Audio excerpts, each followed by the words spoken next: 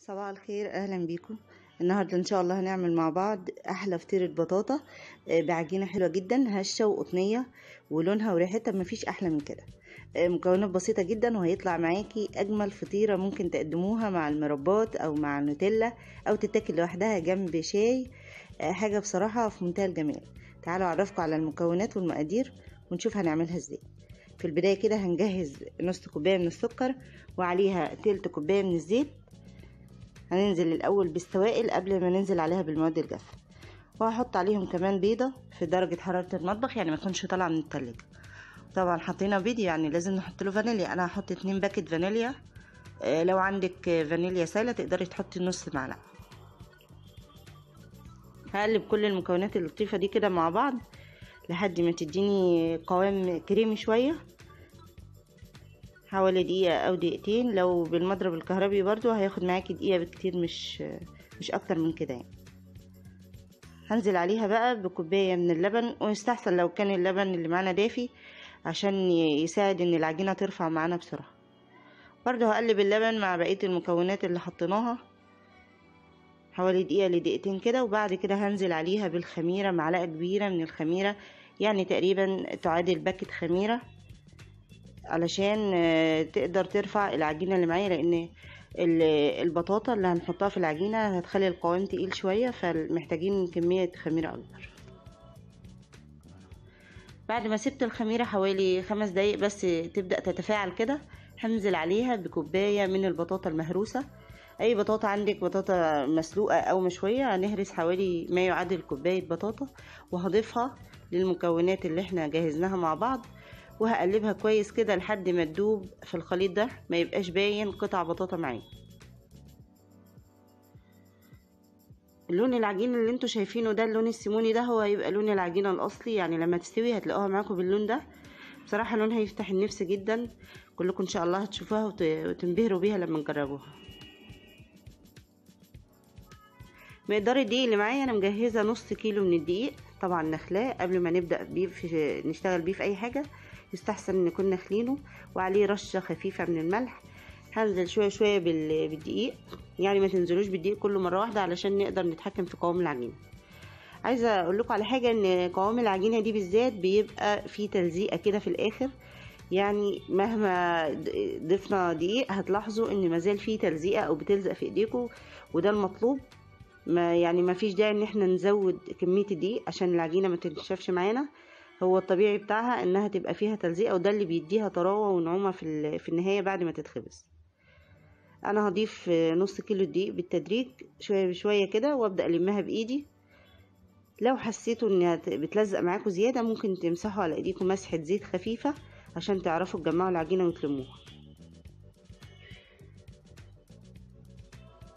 هقلبها واحدة واحدة كده وفي الآخر هنرش رش دقيق كده وأبدأ ألمها على الرخامة زي ما أنتم شايفين. هي ما زالت لسه بتلزق وده المطلوب أنا مش هضيف لها دقيق تاني. هلمها بس بسرعة كده وأسيبها تتخمر حوالي ساعة لساعة وربع في مكان دافي. هتلاحظوا إنها تضاعفت معاكم. يعني هتلاقوا إن شاء الله اختمرت وبقت جميلة و... وخفيفة جدا. يعني تحسوا إنها زي إسفنجية تحت إيديكم لما تيجوا تشتغلوا فيها. هنغطيها ونسيبها زي ما اتعودنا ساعة أو ساعة وربع. لحد ما تحسوا إنها عليت وملت البولة معاكم نقدر نشتغل فيها بعد. كده هي خدت معايا تقريبا ساعة وعشر دقايق بعد ما اختمرت وارتفعت معايا كده هاخدها بقى وأبدأ أشكلها. إحنا في الأول هنعمل آه، فطيرة على شكل ضفيرة فهناخد ثلاث كرات من العجين يكونوا حجم متساوي بقدر الإمكان. نبدأ نلفهم رول كل واحدة زي ما هنشوف دلوقتي مع بعض.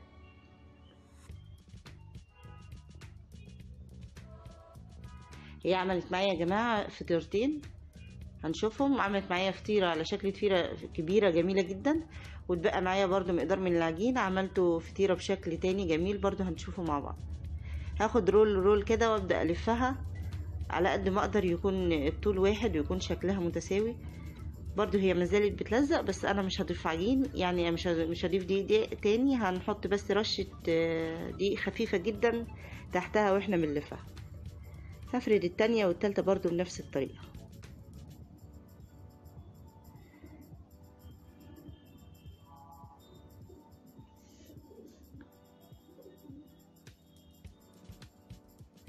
لو حسيتوا إنها بتلزق معاكم شوية رشوا لها رش دقيق خفيفة كده تحتها وحاولوا تفردوها بالراحة عشان العجينة دي بتبقى طرية جدا يعني تعاملوا معاها بحرص.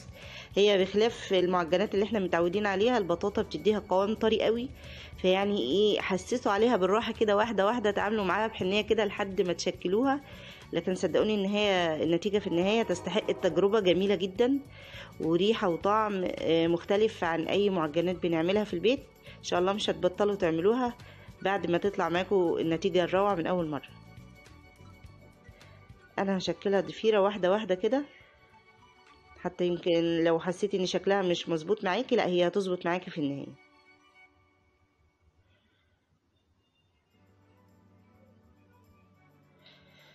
بعد ما خلصتها ولفيت ال- الضفيرة بالشكل ده نجيب بقى صينية ونمسحها مسحة خفيفة من الزيت أو السمنة. وطبعا هي بتتخبز على درجة حرارة عالية يعني الفرن بيكون عالي. ما بتاخدش معانا وقت حوالي ربع ساعة تلت ساعة بتكون استوت معانا وبعد كده بنرفعها تحت الشواية. بس طبعا لازم نسيبها تختمر كمرحلة تانية. يعني بعد ما لفيناها وحطيناها في الصينية لازم نسيبها حوالي ربع ساعة كمان أو تلت ساعة. جزء الدقيق الجزء العجيني اللي اتبقى معايا هيعمل معايا برضو كمان فطيرة. يعني ما شاء الله فطيرة جميلة يعني عملت كمية حلوة قوي هاخدها أعملها فطيرة مدورة بإيدي كده. أنا حاسة إن العجينة مليانة هوا وأنا شغالة. ده دليل على إنها ناجحة وقطنية جدا وهتديكوا نتيجة حلوة جدا في النهاية.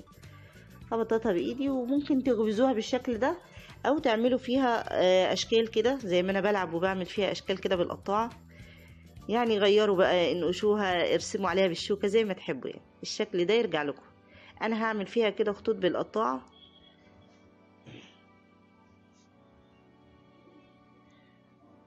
هي مش هتتقطع معايا بس في النهاية الشكل ده هي... هيبان بعد ما تستوي. هتلاحظوا إن لها شكل مميز جدا ونتيجة هتبقى رائعة آه، مختلفة عن معظم المعجنات اللي إحنا متعودين عليها. جربوها بالطريقة دي إن شاء الله هتعجبكم أوي.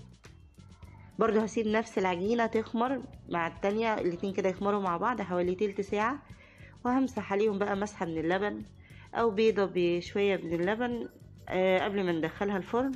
عشان تدينا اللون ال- الذهبي الجميل تحت الشواية.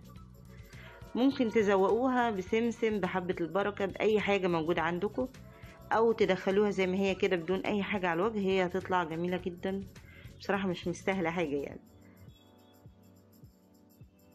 أنا كان عندي شوية سمسم رشيت عليها زي ما أنتم شايفين كده وسبتها حوالي تلت ساعة اختمرت وارتفعت.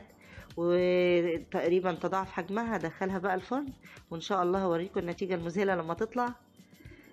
ده شكل ال- الفطاير بتاعتنا بعد ما طلعت ما شاء الله عليها. خفيفة جدا يمكن أكتر مما توقعت كمان. حلوة قوي وطعمها لذيذ. يعني أنا لما بعملها دايما آه، بصراحة هي بتتاكل لوحدها من حلاوتها يعني. ان شاء الله لما تجربوها هتعجبكم قوي. لونها طبعا اللون السيموني الجميل بتاع البطاطا اللي إحنا عارفينه ده. إن شاء الله تنال إعجابكم وبشكركم جدا على وقتكم الجميل وعلى مشاهدتكم وإن شاء الله لو عجبكم الفيديو ما تنسوش في لايك وتشيروه لكل أصحابكم.